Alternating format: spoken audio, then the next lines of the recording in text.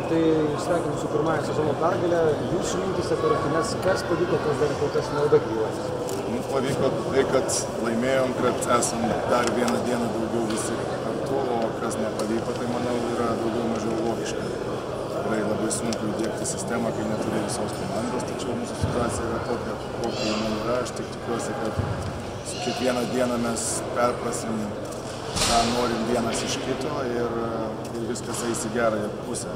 Sakau, Atsidavimas, atsidavimas ir noras išlošti buvo tikrai. Yra daug klaidų ir nelabai aš galiu ant žaidėjų pykti, nes jos yra logiškos, labai daug nesusižaidimo dalykų, labai daug nesuprantamų, nesuprantamų sistemos dalykų jam visiems. Ir sakau, aš galvoju, dar tas bus gana ilgai. Kalbant apie tos jūsų komandos pozityvius dalykus, Paulius Valinskas tiesiog fantastiškai pradėjo rungtynes.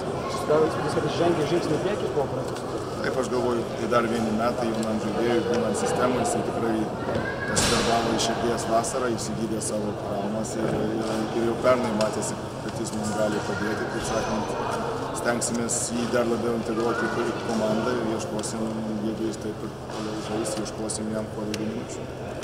Na, turėtų būti visiškai pilna komanda, nes atrodo šiandien Ulanovas tik pirmoji komandinė treniruotė buvo. Nu taip, sakau, situacija yra tokia, kokia jinai yra, mes jau jos nepakeisim. Ir stengiamės prie to prisitaikyti, važiuojam rytoj į Londoną, atvažiuos iš Londono grįžus Myčičius, bandysim jį integruoti, sakau, tuo pačiu metu stengsimės, aišku, nedalinti taškų ir, kaip sakant, laukia daug darbo.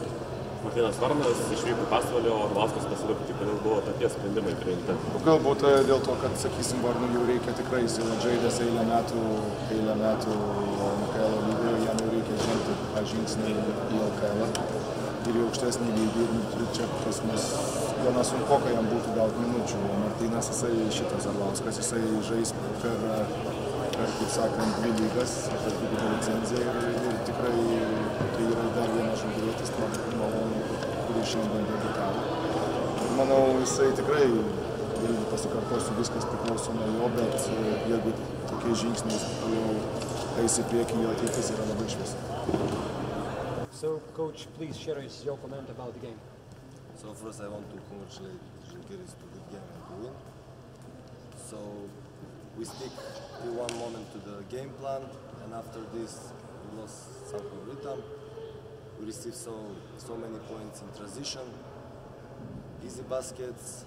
We, we was very bad in matchup in transition defense, and that was hurt us a lot. They scored so many easy points, and they have. Uh, we did 15 turnovers, what we cannot expect to win to game like Žalgiris with 15 turnovers. You are completely new coach, and Zuki, uh, the team was previously built with Andrei Urlev. Uh, how do you feel in this new team?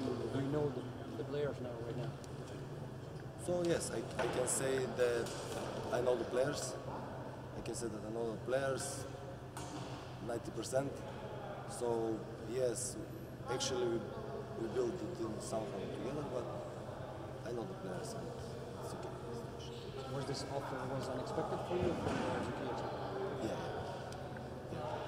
can you explain why Coach and Ray ordered the team? That's not my job.